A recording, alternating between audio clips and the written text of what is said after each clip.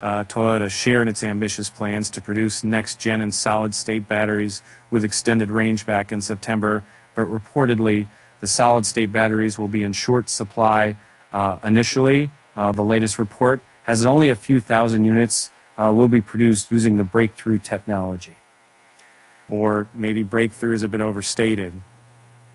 Toyota's plans are to produce two versions of the battery, one with 20% longer range than today's Toyota EVs, which isn't much, and one with 50% improvement.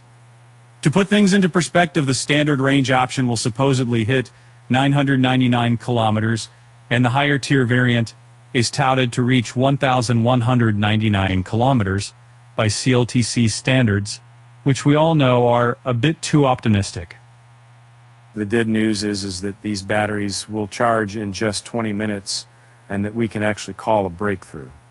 Uh, sadly, these solid state cells will come in limited quantity when they hit the market in 2027, 2028.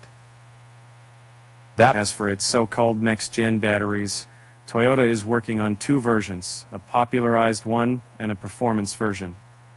The former should offer a 20% increase in range compared to the BZ4X, which puts the CLTC estimation to 737 kilometers.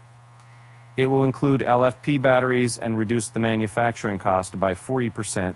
The first cars to come with the said battery tech are scheduled for 2026 to 2027.